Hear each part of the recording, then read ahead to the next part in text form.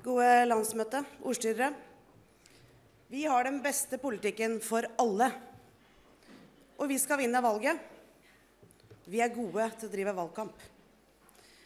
Men for at vi skal vinne, så må vi òg formidle vår politikk. Vi må gjøre om politikk til gode valgkampparoler. Hvordan skal vi gjøre det? Ved sist valg insisterte min da åtte år gamle sønn på å være med på stand. Og jeg skjønte da han er lik sin mor det var ikke noe vits å si nei.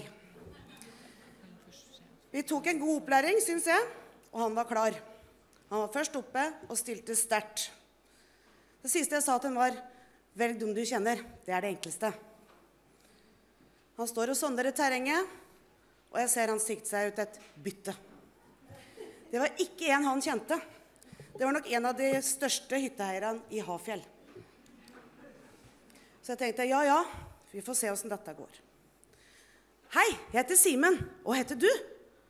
Jo, dama nikka og presenterte seg. Er du glad i mat? Det er jeg. Sånn.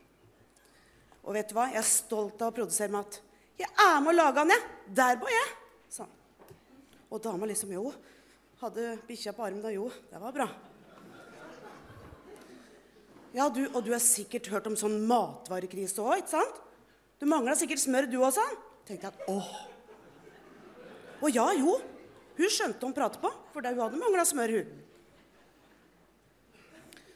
Så sen tenker jeg også Han hadde solgt sitt. Han var stolt av matproduksjonen. Hun visste om mat var. Hun var glad i mat. Så sier han ja, du har mora sagt at jeg skal ikke spørre og du skal stemme, men du får ha godt valg, da. Så, så snudde han seg, tommelen opp til meg, og så tenkte jeg at uh, det gikk bra.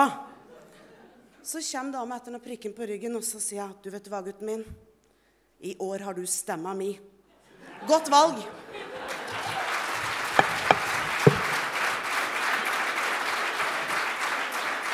Da, da er det nummer 287 Syver Sakariassen og nummer 288 Erlend Herstad gjør seg klar. Så det er sånn at vi har liksom litt sånn dårlig tid. Sånn at om folk sjøl prøver å kutte innleggene sine litt, så slipper vi å sette taletida til to minutter. Så hvis alle bidrar med å kutte noen sekunder hver, så går det bra.